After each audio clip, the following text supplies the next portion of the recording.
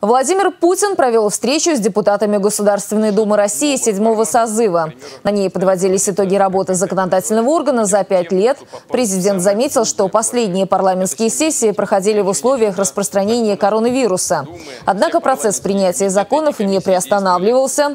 Это позволило оперативно принимать нормативные акты, которые предотвратили коллапс в различных сферах жизнедеятельности. Очень важно было э, услышать оценку президента относительно того, как мы работали э, при подготовке законов по исполнению посланий президента и так далее, и так далее. То есть в целом э, работа Думы оценена положительно. Собственно, это один из важнейших итогов э, нашей работы.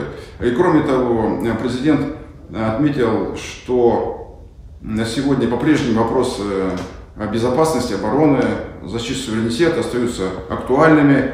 Василий Пискарев подчеркнул, что вопросы безопасности суверенитета остаются до сих пор актуальными. Депутат заявил, что регулярно фиксируются попытки вмешательства иностранных государств во внутренние дела России. По его мнению, предстоящие выборы только увеличат их количество.